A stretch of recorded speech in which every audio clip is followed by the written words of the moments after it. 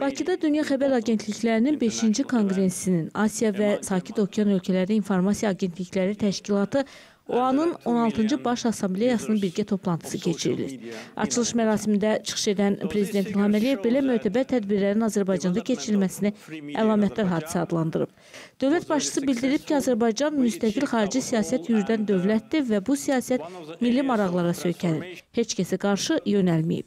Azərbaycanın gələcəyi öz əlindədir deyən Prezident İlham Əliyev qeyd edib ki, Azərbaycan həm İslam Əməkdaşlıq Təşkilatının, həm də Avropa Şurasının üzvü olan az だいた Dünyada dini və etnik toqquşmalar müşahidə edildiyi halda Azərbaycanda müxtəlif etnik və dini qrupların nümayəndələri sülh və anlaşma şəraitində yaşayırlar.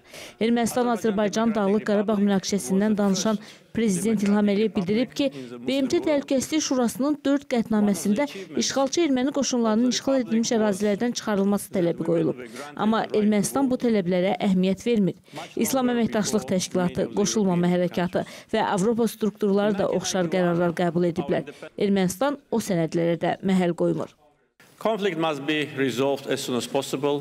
Dağlıq Qarabağ münaqişəsi Azərbaycanın ərazi bütövlüyü çərçivəsində həll olunmalıdır. Çünki Azərbaycanın ərazi bütövlüyü digər ölkələrin ərazi bütövlüyü qədər dəyərlidir. Keçmiş Sovet məkanında münaqişələrin ərazi bütövlüyü çərçivəsində həlli prinsipi Dağlıq Qarabağ münaqişəsinə də tətbiq edilməlidir. Prezident İlham Əliyev bildirib ki, Azərbaycanın həyata keçirdiyi siyasət bütün region üçün vacibdir. Dövlət başçısının çıxışından sonra UNESCO-nun baş direktoru İrina Bokovanın video müraciəti nümayiş etdirilib. Xanım Bokova Dünya Xəbər Agentliklərinin 5-ci konqressinin və Asiya və Sakit Okean ölkələri informasiya agentlikləri təşkilatının 16-cı Baş Assambleyasının Bakıda keçirilməsini gələcək fəaliyyətin uğurunun başlanğıc nöqtəsi adlandırıb. Bildirib ki, keyfiyyətli jurnalistika cəmiyyətlər üçün heç vaxt olmadığı qədər vacibdir və onun başlıca vəzifəsi əsasən böhran və münaqişələr zamanı cəmiyyətin etibarlı informasiya tələbatını ödəməkdən, onun maraqlarını təmin etməkdən, söz azadlığı üçün əlverişli zəmin yaratmaqdan ibarətdir. Sonra çıxış edənlər dünyada informasiyanın maneəsiz axını baxımından xəbər agentliklərinin rolunun artdığını vurğulayıblar. Bildirilib ki, buna görə düzgün, dürüst və qərəzsiz informasiyaları yayan agentliklərə ehtiyac daha çoxdur və əsas məqsəd insanlara dünyada baş verən hadisələrin mahiyyətini düzgün şəkildə çatdırmaqdır. Azərtacın baş direktoru Aslan Aslanov deyib ki, hər bir informasiya agentliyinin həyatında ən mühüm hadisə Dünya Xəbər Agentliklərinin konqresinə ev sahibliyi etməsidir.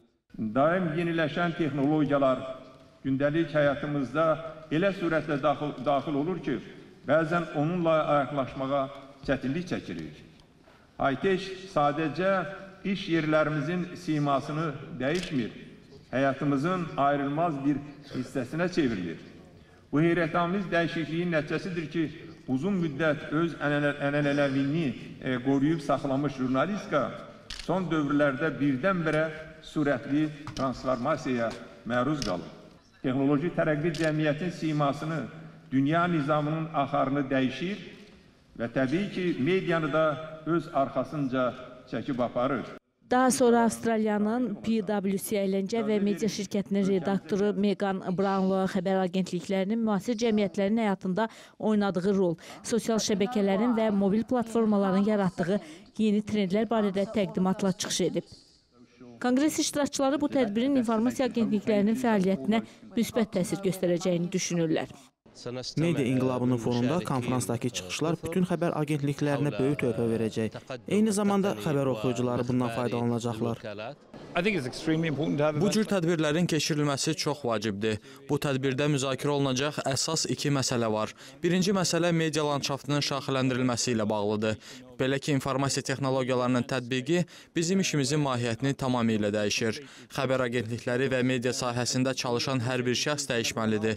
Bizim müzakirə edəcəyimiz digər məsələlər isə qərəzli xəbərlərin qarşısının alınması və jurnalistlərin fəaliyyətinin inkişaf istiqamətləri ilə bağlı olacaq.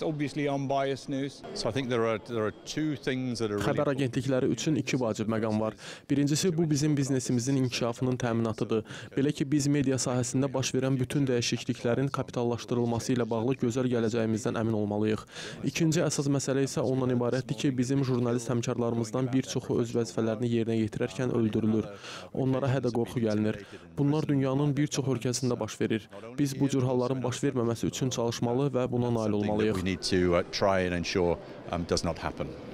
Beləliklə Azərbaycan 3 gün ərzində nüfuzlu beynəlxalq media qurumlarının toplantılarına, Dünya Xəbər Agentliklərinin 5-ci konqresinə, Asiya və Sakit Okean ölkələri İnformasiya Agentlikləri Təşkilatı, OANA-nın 16-cı Baş Assambleyasına və MDB Dövlət İnformasiya Agentlikləri Rəhbərləri Şurasının 22-ci iclasına ev sahibliyi edəcək. Tədbirlərdə dünyanın 80 ölkəsindən informasiya siyasətinin əsas istiqamətlərini müəyyənləşdirən 190-a yaxın xəbər agentliyinin rəhbəri və təmsilçiləri, media üzrə beynəlxalq ekspertlər iştirak edir. Onlar sürətli transinformasiyaya məruz qalan jurnalistikanın problemlərini, xəbər agentlikləri ilə sosial medianın müxtəlif platformaları arasında əməkdaşlıq formalarını müzakirə ediblər. Yaqut Tapdıq qızı Orxan Məmmədov, Elvin Hacəliyev, CBC.